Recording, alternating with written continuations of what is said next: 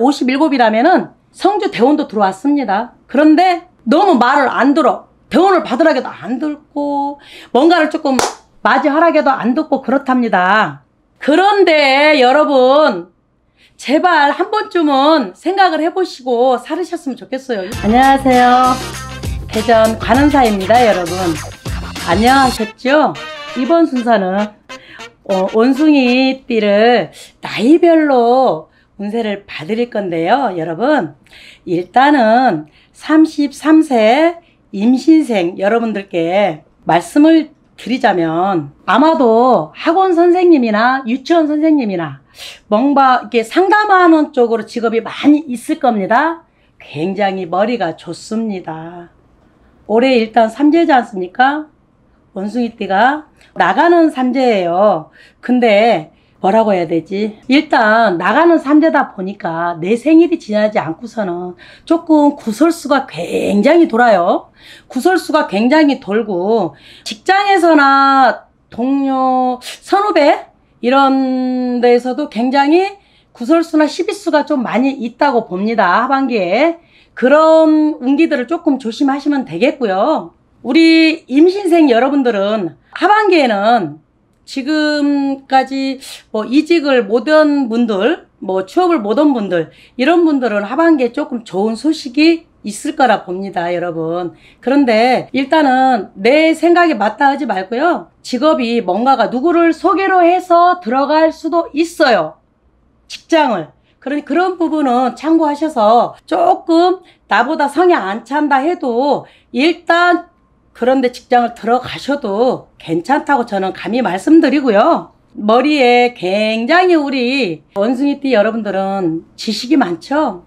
이분들은 지금 너무 점잖하고 나이는 어리지만 33살이면 머리에 지식이 많습니다. 그래서 상담이나 예, 선생님으로 직업상으로 그런 학원 선생님이나 이런 것도 굉장히 맞습니다. 그런 여러분 일단은 머리가 좋아도 잠깐 고개도 숙일 줄 알아야 되니 내가 무조건 똑똑하고 잘났다 생각하지 마시고요. 일단은 조금 삼자이기도 하고 조금 피해서 갈 거는 왜 소나기도 피해가라는 엔 말이 있잖아요. 그러듯이 잠시 잠깐은 피해 가는 것도 나쁘지가 않습니다, 여러분. 그리고요, 45세, 아하.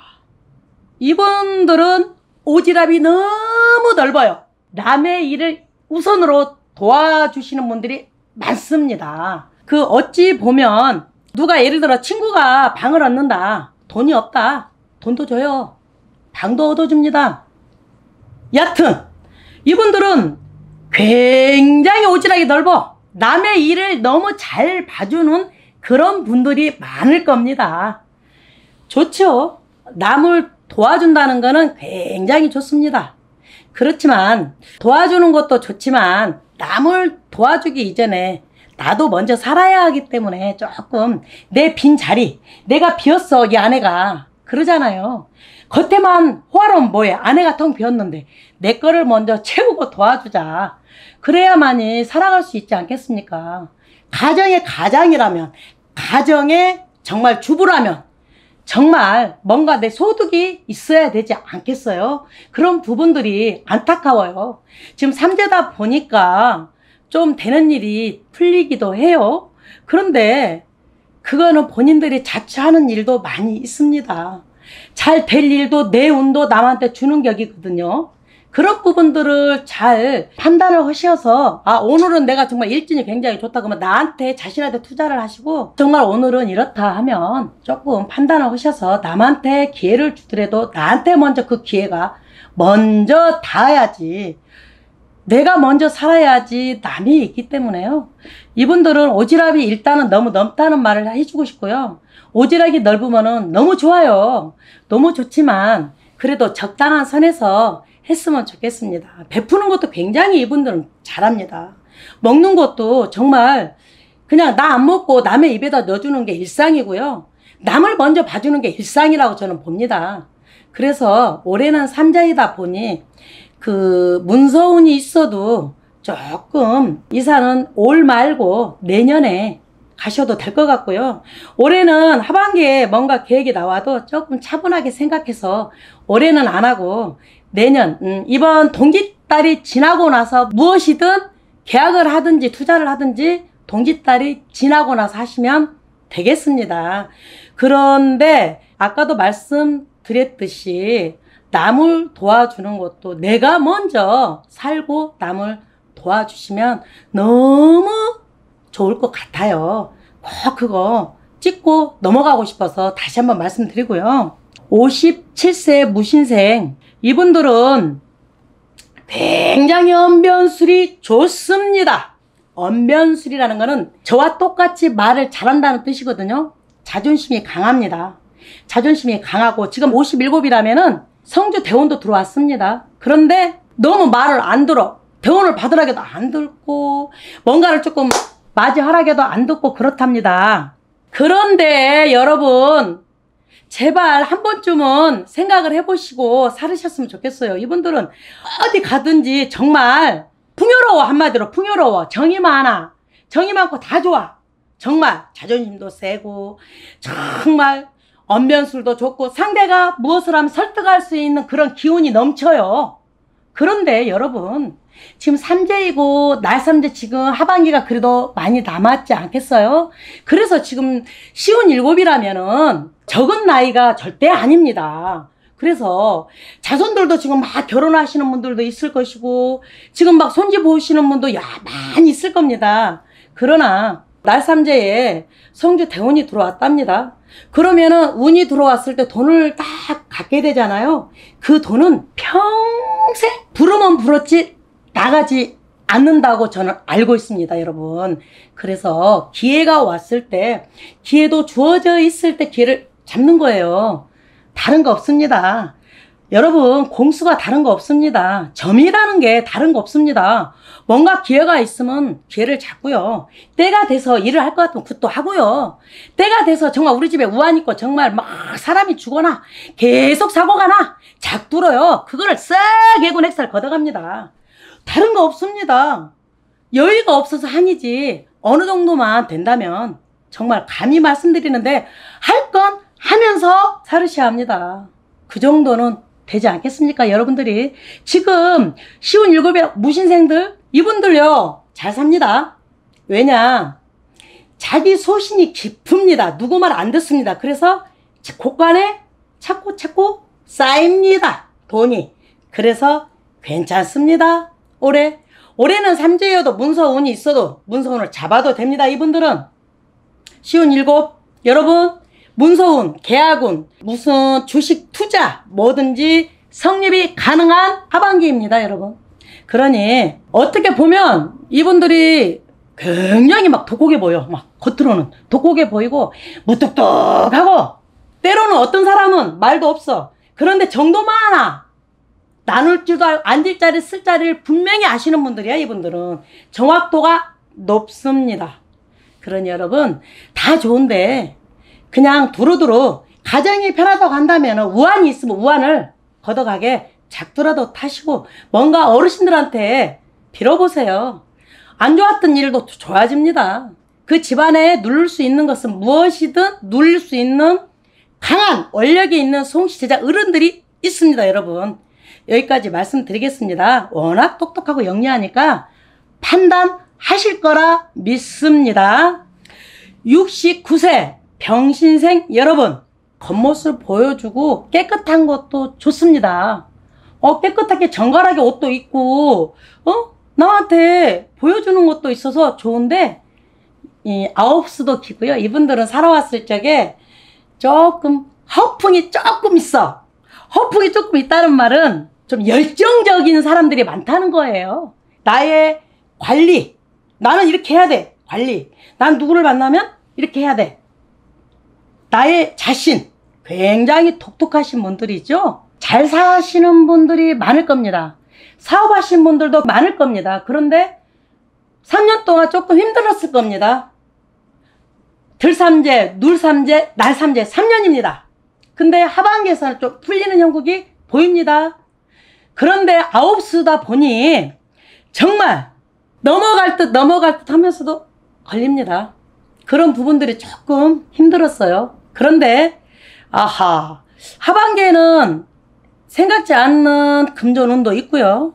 또한 사업 성불, 사업하시는 분들은 생각지 않게 그런 거래처가 자꾸 늘어날 수 있는 확률이 있고요. 다양 면으로 좋아지는 형국이에요. 하반기는 그러나 아홉수기 때문에 팔고 사고 하는 문건들은 조금 적당하게 어, 워낙 잘 아시니까 판단을 잘해서 관리하시면 될 것 같고요. 이분들은 다른 거 없습니다. 욕심이 많잖아요. 그런데 돈을 남한테 빌려주고 못 받는 사람도 많이 있을 겁니다. 돈을 빌려주면 그 사람을 생각해서 주는 것 같잖아요, 여러분. 그건 아닙니다. 돈도 잃고 사람도 잃습니다. 그래서 돈 관계는 되도록 안 했으면 합니다, 여러분. 그래서 어, 69세 병신생 여러분들은 갑진년 하반기에는 조금씩 실타래가 조금씩 풀린다. 이렇게 말씀드리고요. 아홉수니까 항상 사고수 정말 조심 많이 하시고요. 남은 하반기에 재수 많이 보실 겁니다. 항상 어려운 일이 있으면요. 자신이 해결한다 하지 말고 어떤 누군가한테 상담을 해서라도 그걸 꼭 풀기를 바랍니다, 여러분. 그리고 81세 갑신생 여러분. 하하. 이분들은 호기심이 참 많죠. 원숭이 뛰다 보니까 자존심도 강하고 굉장히 도전을 한다. 말씀드려요. 자꾸 자꾸 도전을 해요. 뭔가를 자꾸 사업에 구상을 하고 땅 투기를 하더라도 크게 하려고 하고 뭔가 내가 기존에 있던 것을 더 부풀리고 싶다. 강한 분들이 바로 갑신생 여러분들입니다. 이분들은요 사주도 강하지만 자존심도 굉장히 셉니다. 또 사실 살아온 나날도 어, 흐트러짐 없이 사시려고 노력도 많이 하셨을 겁니다. 그래서 사업하시는데 이분들은 언변술이 뛰어나기 때문에 뒤처지지 않고 정말 어떤 사업으로나 상담을 하든 토론을 하든 거기에 대한 대가는 분명히 치러졌을 거라 저는요 생각 들고요. 잘 살으셨습니다. 정말 대단히 잘 살으셨습니다. 정말 고생 많이 했습니다. 3년 동안 삼재도 정말 거뜬하게 이겨내셨고요. 그런데 이제는 지금까지 열심히 살고 내 고집으로 내 성향으로 살아왔다면 지금부터는 남은 인생을 고집은 이제 내려놓으시고 건강을 보살피면서 남은 인생을 살으셨으면 합니다. 아이고 내 손지 아이고 예쁘다 손지 보고 보는 낙으로 또 아들한테 맡길 수 있으면 맡기고 누구 대표적인 사람한테 대표한테 맡기고 이제는 내려놓고 쉴 시간입니다. 너무 많이 머리를 쓰면 다칩니다. 이 생은 빈몸으로 왔다 빈몸으로 가는 인생입니다. 사실 태어나서 갈 때까지 사람들이 으그렁 으그렁 찌그렁 찌그렁 다 개인 각각 사는 집집마다 사는 방식이 틀리고 먹는 방법도 틀립니다. 그렇지만 살아가는 게 있어서 어차피 갈 때는 빈손으로 가는데 사는 동안에는 정말 할 수 있는 모든 것을 건강도 지키고 여유 있으면 조금 보시도 많이 하고 그렇게 사셨으면 너무 좋겠어요. 그런 말씀을 드리고요. 다른 거 없습니다. 원숭이 나이별 운세를 많이 말씀을 드렸는데요. 원숭이띠 분들은 일단 머리가 좋습니다. 원숭이가 머리가 좋죠? 생일 시에 따라서 많이 틀린 경향이 있지만 거의 성향은 비슷하다고 저는 보고요. 3년 동안 삼재 겪으느라 진짜 애쓰셨습니다. 그러나 여러분 항상 내가 신이다. 내 말이 맞다. 이거 아닙니다. 그러니 이런 것들을 조금 그래도 실력님 모시는 제자들이 있고 이렇게 방송을 나가는 제자가 있으니 그런 거는 저희들한테 다 던져요. 맡겨요. 그냥 아는 것도 몰라. 모르는 것도 몰라. 그래서 저희 같은 사람들한테 가끔은 의존하고 기대는 것도 나쁘지 않다라고 감히 말씀드립니다, 여러분. 송시 제자 오늘도 많이 노력해서 여러분들께 좋은 말씀 드린다고 영상을 이렇게 내보내는데요. 부족했습니다. 오늘도 그렇죠. 그렇지만 신령님 제자, 송씨 제자 중심 지키고 신령님이 말씀하신 거, 느낌 주신 거 전달 잘하고요. 더 노력하는 그런 제자가 되겠습니다, 여러분. 이쁘게 봐주시고요. 감사합니다. 사랑합니다.